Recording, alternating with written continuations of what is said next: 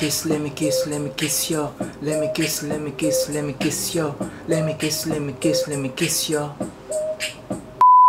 Okey, terima kasih kepada korang yang sudi untuk uh, tonton saya punya channel pada hari ini. Okey, kepada korang yang masih lagi baru dekat dalam channel saya. Nama saya Zai Zaza. Okey, saya buat konten untuk uh, vlogging bagi trading, okay, investment, saham. Okey, pada channel ni kepada korang yang belum lagi subscribe, jangan lupa untuk klik butang subscribe dulu. Okey, pada hari ini saya macam biasa saya ada nak jawab daripada um, trader. Dia kata soalan dia dalam setiap pengurusan dari setiap sudut ada yang membantu cikgu di belakang tabir ke? Sebab saya tengok cikgu kekal tenang dan saya pasti bukan saya seorang je yang bertanya tentang trading melalui WhatsApp, Telegram, YouTube, TikTok, Facebook dan email. Masa dan waktu bila cikgu trade dan baca news, edit video lagi. Kalau saya pening juga tu nak buat seorang-seorang. Okey, terima kasih kepada trader ni. Okey, kerana sudi tanya saya soalan melalui WhatsApp saya. Okey, yes.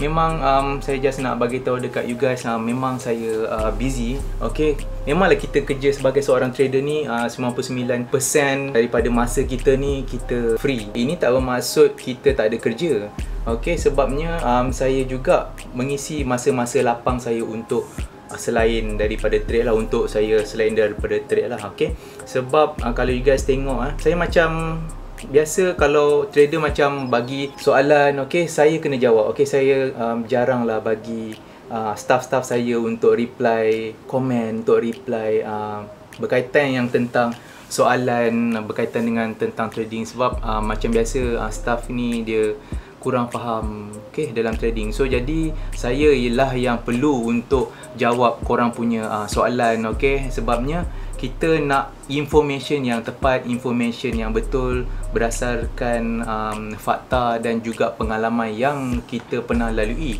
So, um, yes memang saya juga ada banyak kerja bukan setakat daripada kerja trading je yang saya buat macam biasalah.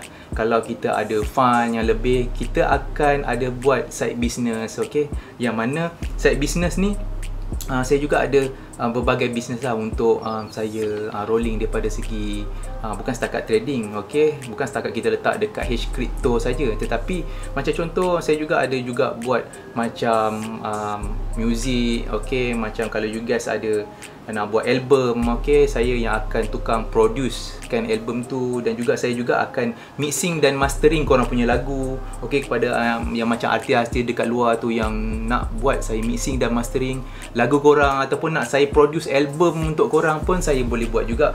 So jadi uh, memang uh, kerja-kerja yang macam tu sebagai saya punya hobi sajalah. Sebabnya 99% daripada masa kita ni um, terluang. Dan juga um, saya juga ada juga um, kata bila dan nak final year project saya dapat um, orang kata permintaan daripada trader. Bukan sorry permintaan daripada student. Okey student-student yang mana uh, bahagian engineering electrical engineering yang mana mereka nak suruh saya uh, design circuit. Okey macam biasalah saya design circuit elektrik okey so jadi nanti mereka dapat mereka punya design tu lepas tu mereka akan uh, printkan di PCB lah. Okey kalau kita macam engineering elektrik ni bila kita dah final year project ni kita akan uh, buat projek untuk uh, electric circuit lah. Yang mana kita punya ni function ke ataupun tidak function daripada segi orang kata uh, in real in real life. Okay so jadi saya lah yang akan tukang buat untuk circuit board uh, bagi PCB bagi dia orang untuk uh, boardkan okay untuk bagi final year project. So jadi uh, setakat pada tu uh, banyak juga lagi kerja-kerja lain yang saya buat. Tetapi dia yang penting walaupun banyak pun kita kena um, mempunyai team yang kuat lah team yang cukup.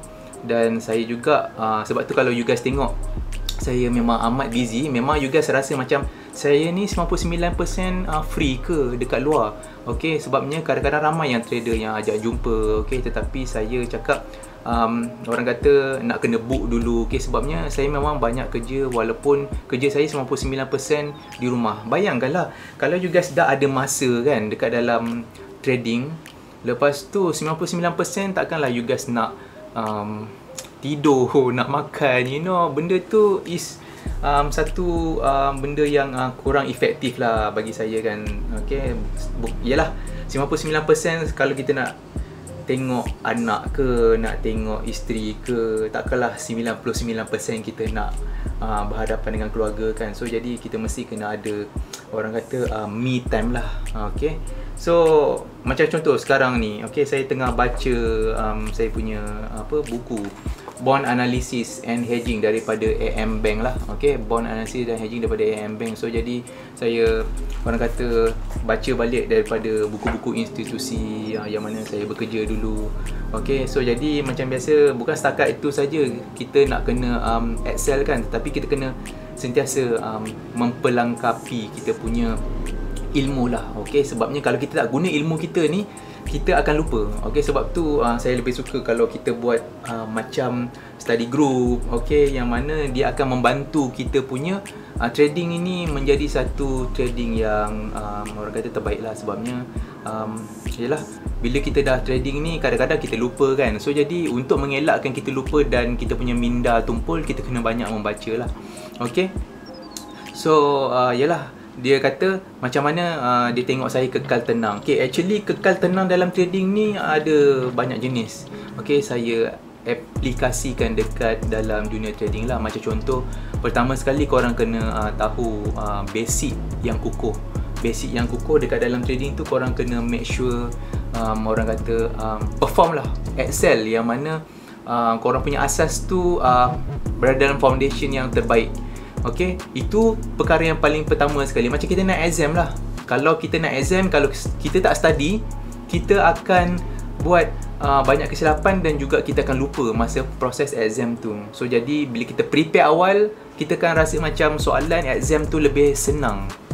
Okay, so jadi memang penting korang kena uh, mahirkan dan korang kena masterkan korang punya basic lah. So make sure basic jangan salah. Kalau salah basic, korang akan ikut korang punya kesalahan basic tu sampai bila-bila saja. So make sure uh, jalan yang pertama kena betul dulu sebelum uh, jalan yang seterusnya tu korang akan lalui dengan senang. Okay? Selain daripada itu juga untuk orang kata rahsia saya kekal tenang ni saya macam um, biasa Okay, saya um, banyak juga ada um, buat salah satu perkara yang mana um, orang lain tak pernah buat lah. Macam contoh um, kebiasaan saya habit saya ni kalau semasa trading saya akan um, um, banyak minum uh, air coklat lah.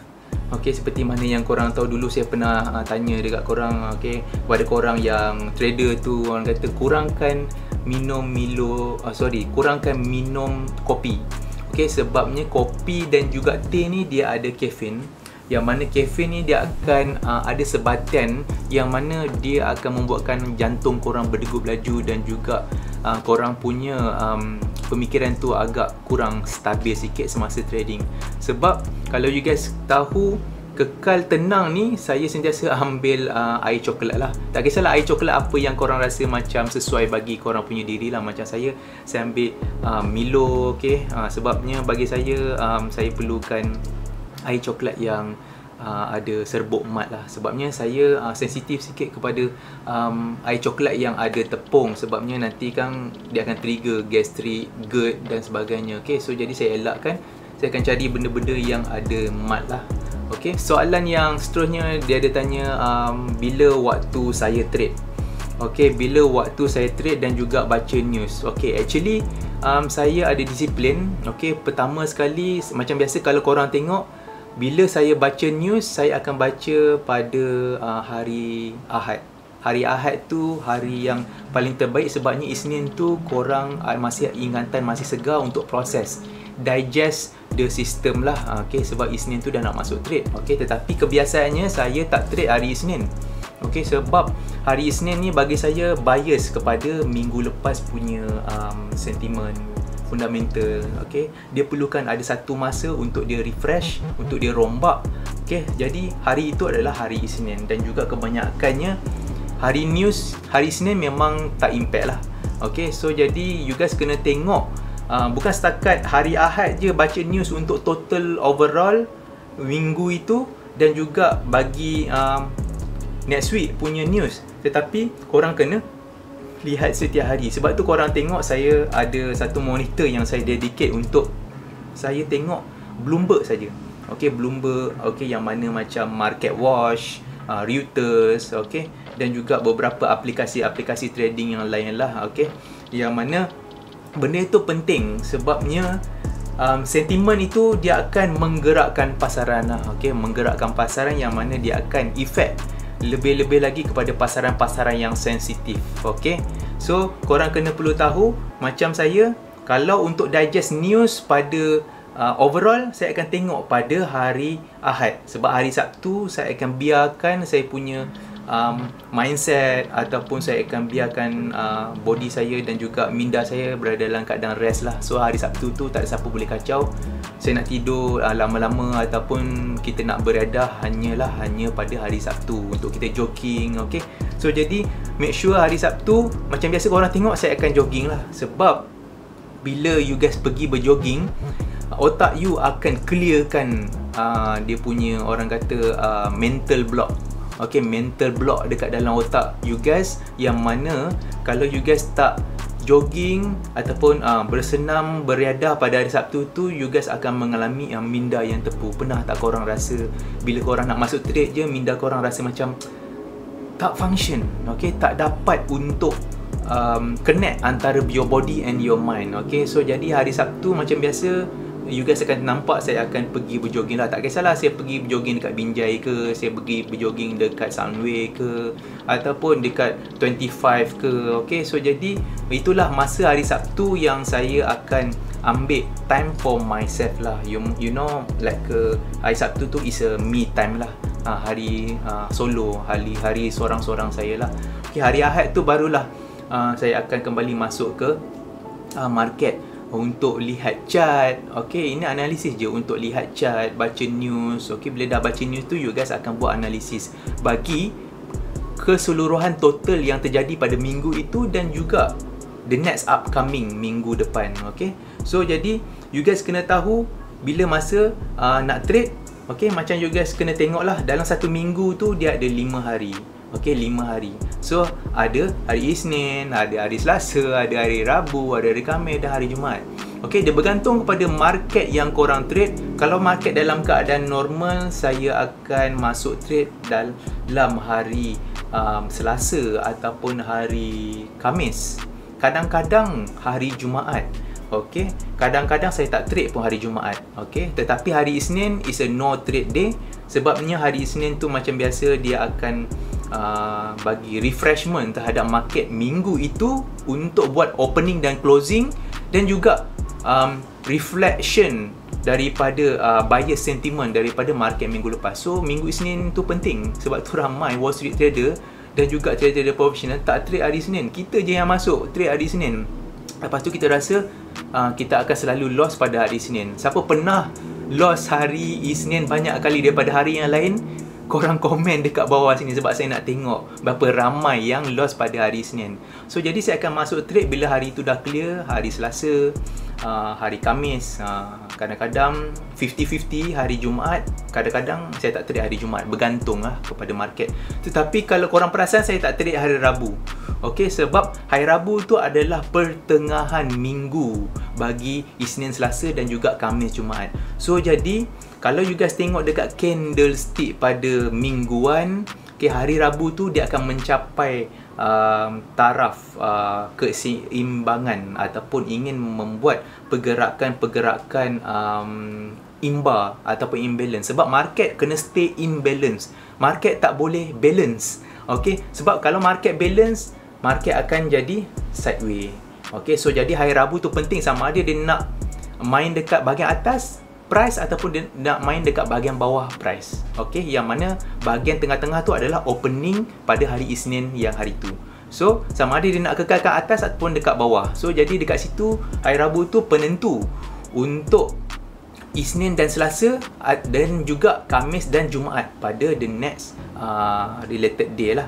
Okay, so jadi macam contoh kadang-kadang uh, saya selalu tak trade hari Jumaat sebab hari Jumaat ni dia uh, volume dia slow. So jadi bila volume slow, you guys takkan ada apa-apa fly, you guys takkan ada apa breakout zone, you guys takkan ada apa-apa pullback. Okay, melainkan okay, pada hari Jumaat itu jatuh pada hari Jumaat di mana tarikh tersebut adalah jatuh pada 30 dan 31 hari bulan bulan tu lah yang mana dia akan memberikan impact sebab you guys kena tahu macam yang saya cakapkan uh, future trader dia punya kontrak akan tamat pada 24 hingga 25 so jadi future contract tu penting sebab mereka kena fight for the price sama ada price tu nak close bawah ataupun nak close atas Okay, benda tu penting. So jadi disebabkan uh, beberapa hari bulan tu dan juga pada akhir bulan mereka akan biasanya berlawan. Okay, sama ada buyer dan seller. Okay, faham yang tu dan juga hari Rabu. Okay, penting untuk hari Rabu minggu itu akan terjadi fighting antara buyer dan seller sebabnya dia kena mengekalkan teritori harga. Buyer kena mengekalkan teritori up. Seller kena mengekalkan teritori down sell. Okay, so jadi hari Rabu tu penting sebab dia pertengahan mingguan. Okay.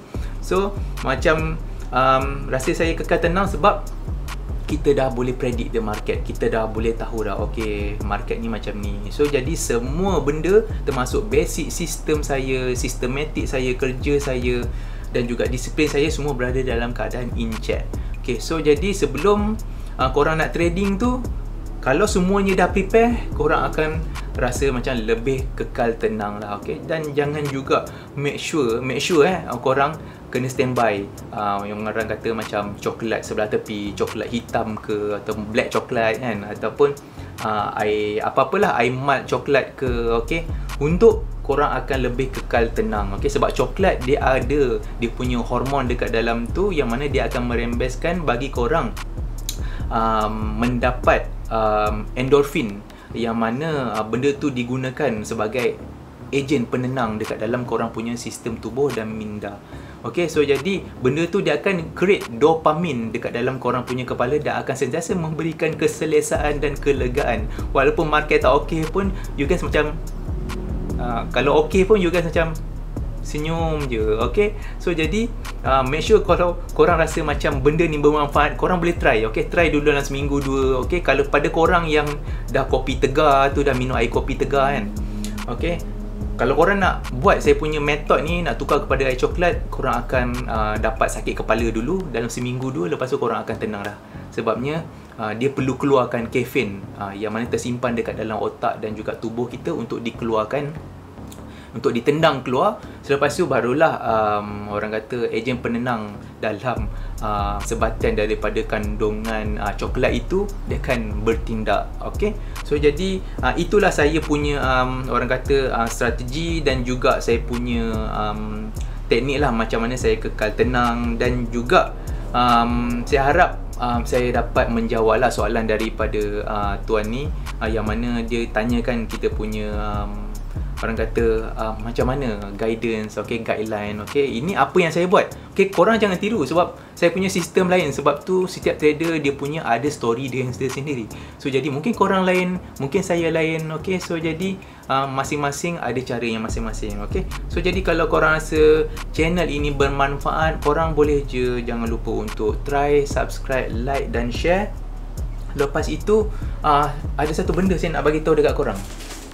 Okay kepada korang yang berminat untuk beli bantal ZZ Trader ni, okey bantal ni yang berharga 21 dolar, okey. Kalau korang beli beli beli sekarang, korang akan dapat harga murah lah sebabnya um, um, ringgit kita uh, orang kata dah berada dalam keadaan low sebab hari tu ada orang beli um, berharga dalam 80 ringgit je. So masa orang kata dolar dah drop kan. Um, so jadi benda tu dia murah. Tetapi kalau um, dolar dah naik, kalau korang nak beli bantal ini, um, dia akan agak agak mahal sikit lah. So jadi make sure sementara um, sementara um, ringgit tengah berada dalam keadaan yang macam ni dan dolar tengah naik ni, better make sure korang belilah. Grab lah satu saya punya bantal ni, okay? Sebab bantal ni um, bagi saya um, dia memang membantu saya lah setiap hari. Sebabnya bantal ni kalau korang tengok, okay? Dia boleh memberikan korang keselesaan semasa trading okay? sebab kau tengok you guys tengok bantal gebu gila lepas tu kalau korang rasa um, korang nak basuh okay, dia ada zip dekat sini okay, korang boleh buka okay, dan juga basuh dan juga boleh um, masukkan balik bantal tu dan korang tutup balik okay? bantal dia yang ni okey? Korang boleh letak dekat dalam kereta okey? Dekat tempat duduk kan? Biasanya kita letak dekat tempat duduk dan kita akan sandar lah. Dan juga kepada korang yang orang kata mengalami sakit belakang akibat kerusi um, kurang selesa korang boleh pakai bantal saya ni. Sebabnya memang saya pakai bantal ni setiap hari okey? Tengok saya punya bantal. Ha tengok yang ni. Ha dah sampai macam kempis dah ha, dah tak gebu dah macam ni. Okey sebab saya pakai dia um, setiap hari lah. Okey sebab saya nak kena letak dekat sini sebab dia akan bagi support bagi tulang belakang. Sebab kita ni je lah. Kita trading ni lama. So jadi bila kita trading lama okey you guys perlukan support okay? You guys kena duduk sebab you guys kena tengok monitor trade tu sepanjang masa betul tak? So jadi you guys perlukan support. So pada korang yang rasa berminat untuk beli bantal saya ni okay you guys boleh PM saya ataupun you guys boleh klik link dekat bawah ni. Ada korang boleh beli okay? Dan juga korang boleh beli dekat email dan juga website dan sebagainya lah. Okay, so kalau korang rasa uh, ada komen soalan lain yang mana saya akan coverkan untuk korang pada video yang akan datang korang tulis je dekat sini. Lepas tu saya akan terus jawab terus dan terus buat video terus lah. Simple lah kan okay? So kita terus uh, straight forward dan straight to the point lah. Okay kalau korang rasa channel ni bermanfaat jangan lupa untuk klik like subscribe dan share.